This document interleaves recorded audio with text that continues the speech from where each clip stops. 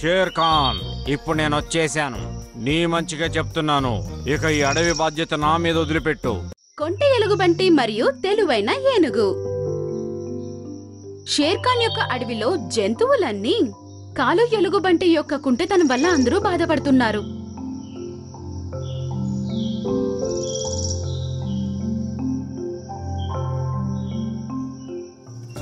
వాళ్ళందరి సహనం నశించినప్పుడు వాళ్ళు తనని షేర్ఖాన్ ముందుకి తీసుకెళ్ళారు. అయ్యా షేర్ ఖాన్ మేము కాలు ఎలుగుబంటి చేసే పనులతో రోజు విసిగిపోతూ ఉన్నాము ఇతను నా ముక్కుని గట్టిగా తొక్కి పెట్టాడు షేర్ ఖాన్. షేర్ ఖాన్ దీనివల్ల నా గూడు కూడా చాలా సార్లు నష్టమైంది అది మాత్రం కాకుండా నా గుడ్లు కూడా పగిలిపోయాయి. మీరంతా నా మీద నిష్కారణంగా నిందలేస్తున్నారు. నేను కేవలం ఏదో కాస్త ఎక్కువ తమాషాగా ఉంటా. తమాషా చేయడం పెద్ద తప్పేం కాదే. కాలు ఎలుగుబంటి నువ్వు అడవిలో ఉంటున్నావు పట్టణంలో కాదు. ఒకవేళ నీ తమాషాలతో జంతువులకు ఇబ్బంది కలిగితే అప్పుడు నీకు శిక్ష పడుతుంది. అందరూ షేర్ ఖాన్ని గమనించి చూశారు. నేను నిన్ను ఈ అడవి నుంచి వెళ్ళిపోమ్మని ఆదేశాలు ఇస్తాను. ఈ రోజు సాయంత్రం లోపు అడవి హద్దుల నుంచి దూరంగా వెళ్ళిపో. ఇదే నీకు ఇంకా అందరికీ మంచిది.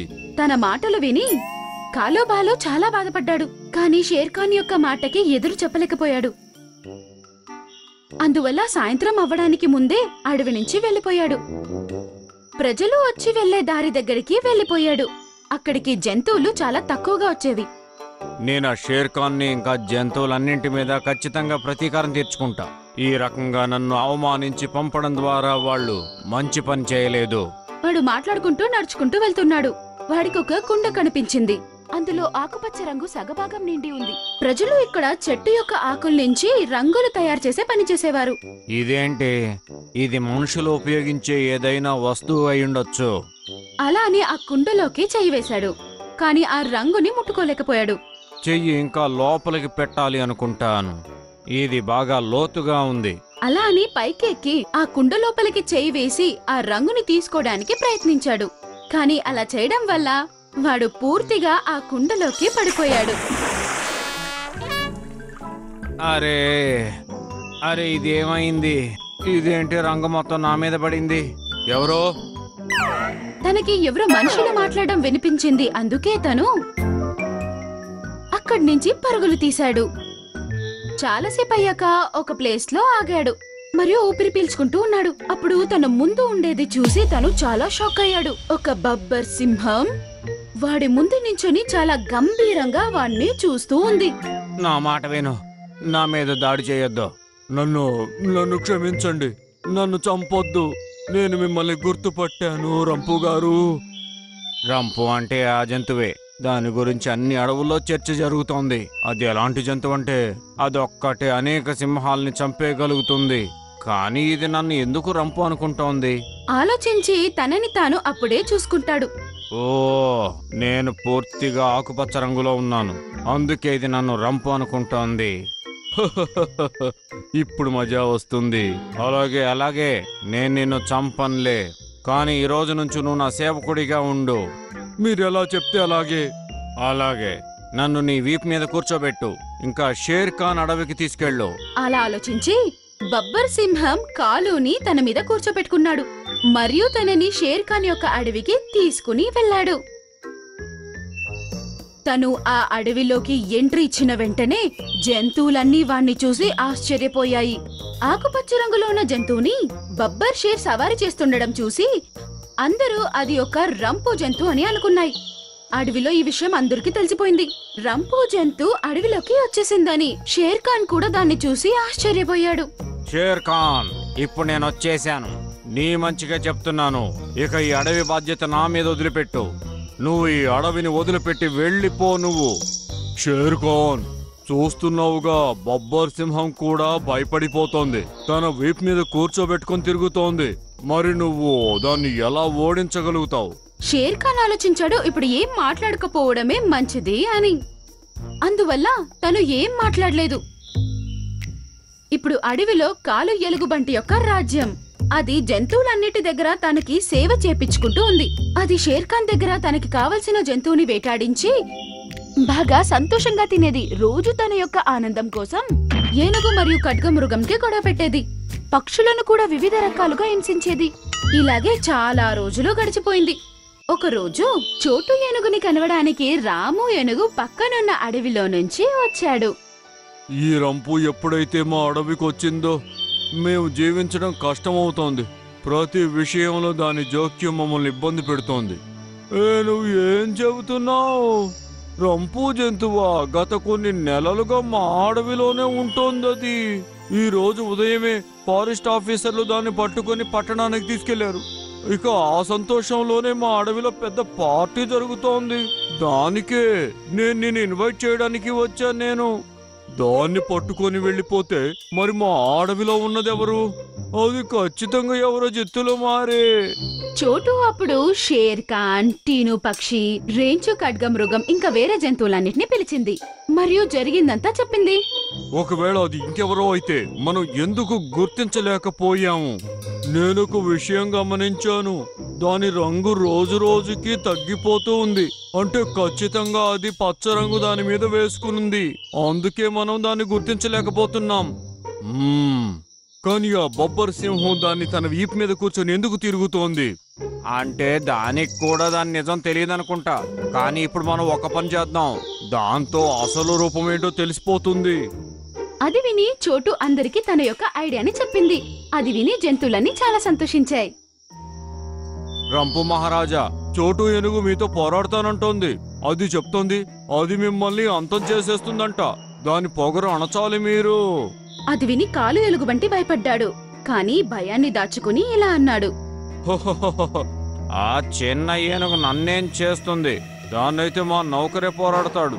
అలాగే మీరు మాతో పాటు రండి. రేంచో ఖడ్గ మృగం కాలు ఎలుగుబంటిని నది దగ్గరికి తీసుకుని వెళ్ళాడు. అక్కడ ప్లాన్ చేసినట్లు జంతువులన్నీ ఉన్నాయి. రంపు నువ్వు నీ వాహనం దిగు ఇంకా నన్ను ఎదుర్కో. నేను నీలాంటి చిన్న జంతువులతో పోరాడను.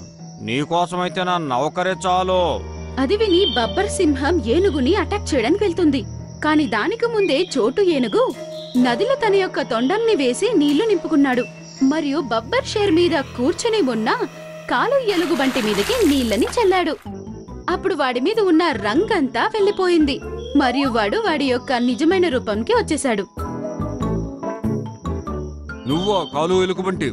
ఏంటి? నేను ఇన్ని రోజుల నుంచి ఈ కాలు ఎలుకబంటిని మీద వేసుకుని తిరుగుతున్నానా? అలా అని కోపంతో కాలు ఎలుగుబంటిని కిందకి పడేశాడు.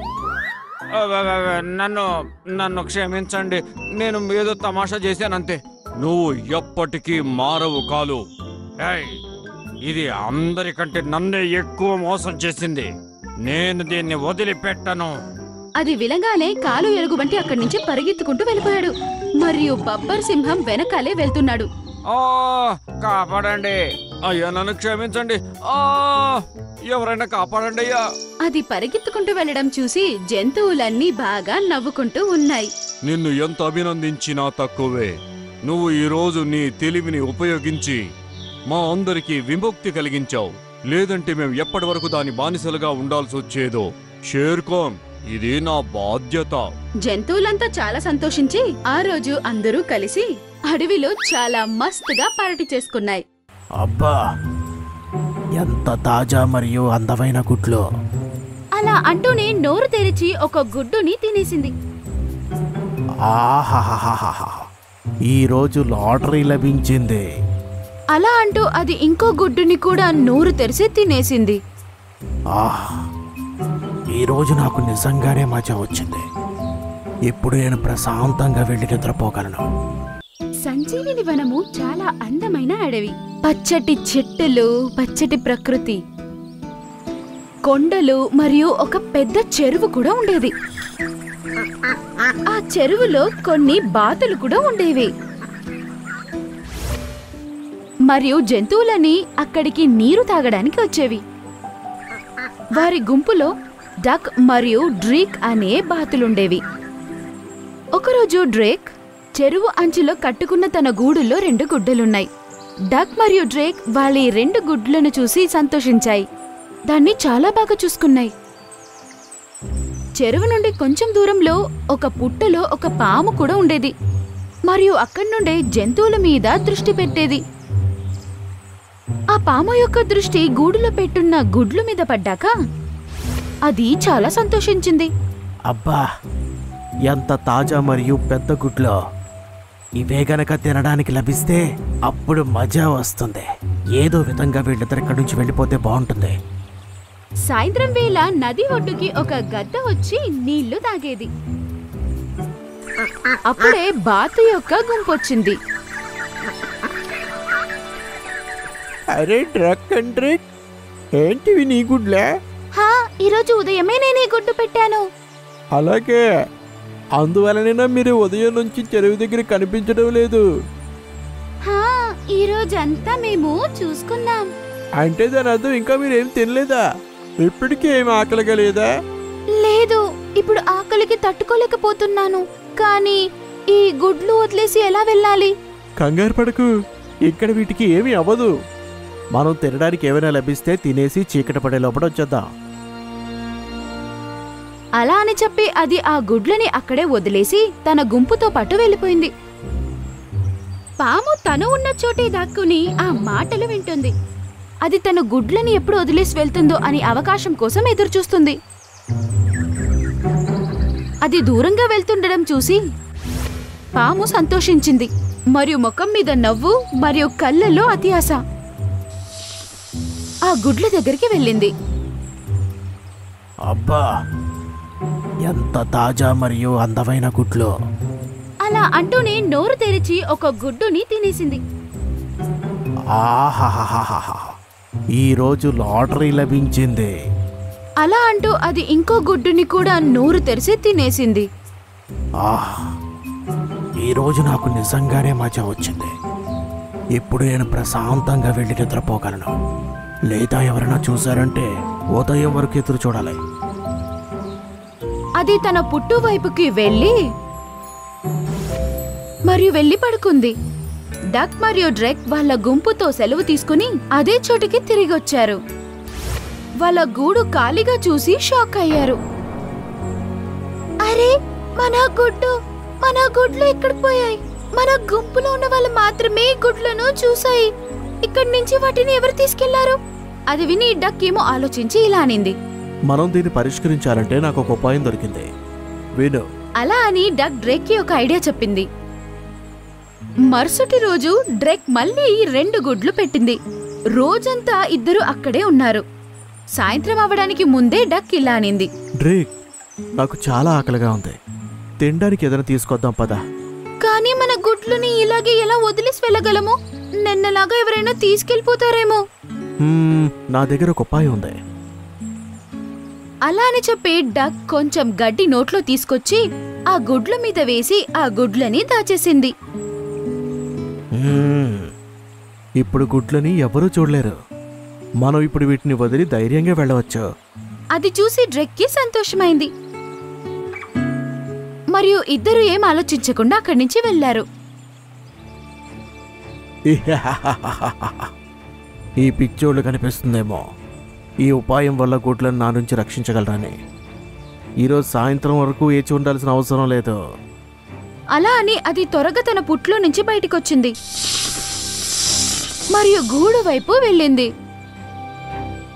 డక్ మరియు డ్రేక్ చెరువు అంచున దాక్కుని వారి గూడు మీద దృష్టి నుంచారు. కాని వాళ్ళిద్దరూ పామును చూసి భయపడ్డారు. వాళ్ళు ఏం ఆలోచించడానికి ముందే ఆ పాము ఆ గుడ్లని తినేసింది మరియు సంతోషిస్తూ తన పుట్టులోకి వెళ్ళిపోయి బాగా పడుకుంది.